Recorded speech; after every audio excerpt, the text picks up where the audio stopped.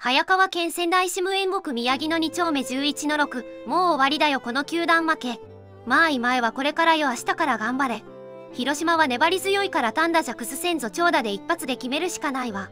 マスターに来たゲロはマストレートとか勢い残ってたらタイムリーになってたんだと思うよ。広島の中継ぎ陣すごいな。打線バカにしてたけど背の首位だけあって強いんだな。渡辺は今のストレートの駒にした方がいい。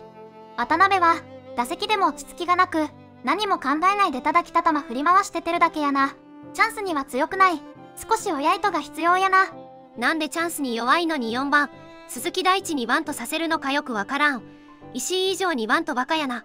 久保も疫病神だったのか3度こうのファンキー加藤へじり疫病神多すぎだろ。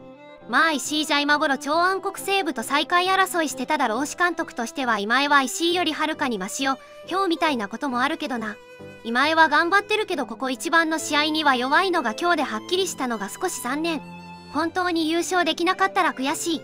一軍合わせて安田一番打力高そう。新井が有能なのはよく分かったわ。初回か3回のチャンスで先に点を取っておかなきゃダメだな。ご視聴ありがとうございました。